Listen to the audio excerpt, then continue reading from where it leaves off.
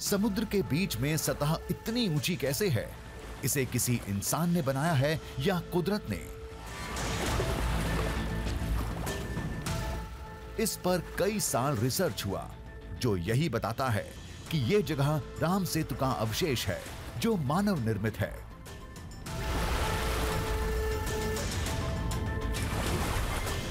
ऐसा लग रहा है कि मैं किसी किनारे पर खड़ा हूँ। दोनों ओर समुद्र है। दो बड़े बड़े समुद्र और उनके बीच पर आप दौड़ लगा सकते हैं। ये तभी संभव है जब आप उस जगह पर मौजूद हो, जिस जगह को किसी और ने नहीं, बल्कि श्री राम ने बनाया है, जहाँ आज हमारे कदम है, वहाँ कभी श्री राम के कदम पड़े थे। ये सोच ही आपको खुशियों से भर देती है।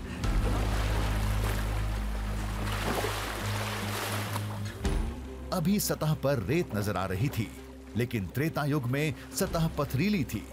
कहते हैं, जलवायु परिवर्तन की वजह से पत्थर दबते चले गए। वो आज भी दिखते हैं। इस सेतु के नीचे, समुद्र की तह में।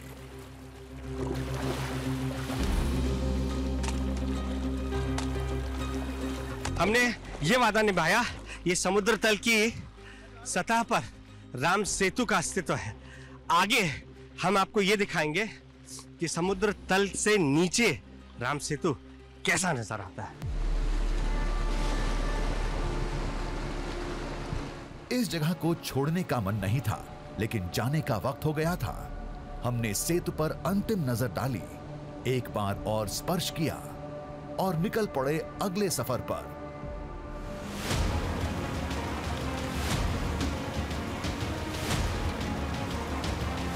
हिंदुस्तान को पहली बार समंदर के अंदर से राम सेतु का दृश्यम दिखाने के लिए। राम सेतु से दूर, समुद्र के एक और ठिकाने की ओर।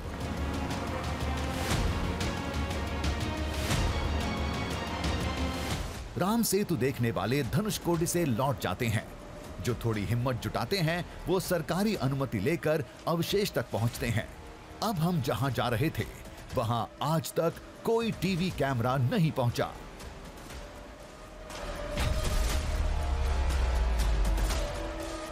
हमने इस यात्रा की शुरुआत की थी। अब हम उस जगह पर जा रहे हैं जहाँ आज तक कोई नहीं गया है जहाँ से हम अंदर राम सेतु कैसा नज़र आता है ये आपको दिखाने वाले हैं क्योंकि इधर भी अभी भी कोई नहीं आया।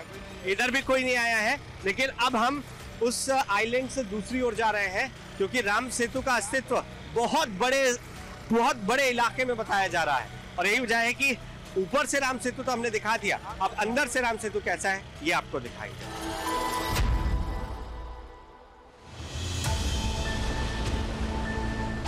कैसा दिखता होगा राम सेतु का समुद्र में डूबा हिस्सा? क्या तैरते पत्थर भी दिखेंगे? ऐसे कई सवालों के जवाब हासिल करने थे। लेकिन समंदर की गहराई में उतरने के लिए खास तैयारी करनी थी। शाम हो चुकी थी। इस मिशन को कल अंजाम देंगे।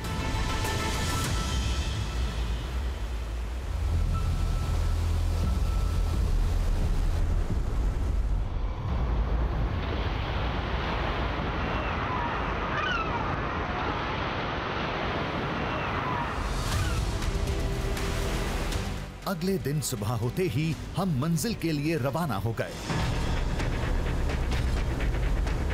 अब, इस बोट के ज़रिए हम उस जगह पर पहुँचेंगे जहाँ से हम पानी के अंदर दाखिल हो सकते हैं।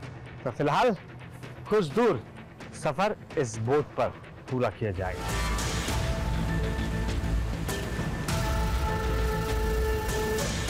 समंदर के अंदर राम सेतु के दृश्यम की तलाश में रोमांच भी था और थोड़ा डर भी।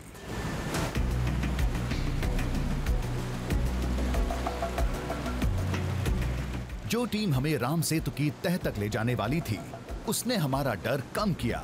पता चला कि राम सेतु के पत्थरों को देखने के लिए ज़्यादा गहराई में जाने की ज़रूरत नहीं पड़ती। 15 से 20 फीट में सब नज़र आता है।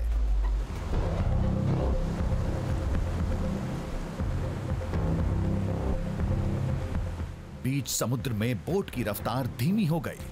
हम एक बार फिर राम सेतु के इलाके में प्रवेश करने वाले थे। बहरहाल ये पूरा इलाका अभी जलमग्न नज़र आ रहा है, क्योंकि समय के साथ यहाँ काफ़ी बदलाव हुए हैं। लेकिन इससे पहले राम सेतु यहाँ पर आपको साफ़ नज़र आता था। ये कई हज़ार साल पुरानी बात जो स्थानीय लोग बताते हैं, उस कहानी का हिस्सा यही है।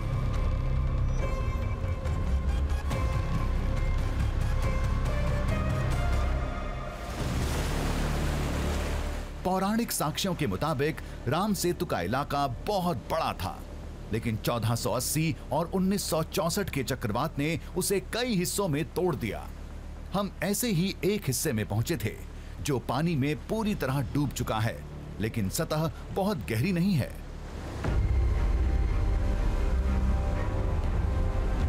कुछ देर बाद हम ऐसे हिस्से में पहुँचे, जहाँ समुद्र की सतह और पत्थर साफ़ दिख रहे थे। समुद्र की गहराई के बीच अचानक से हम एक ऐसी जगह पर आकर ठहर गए।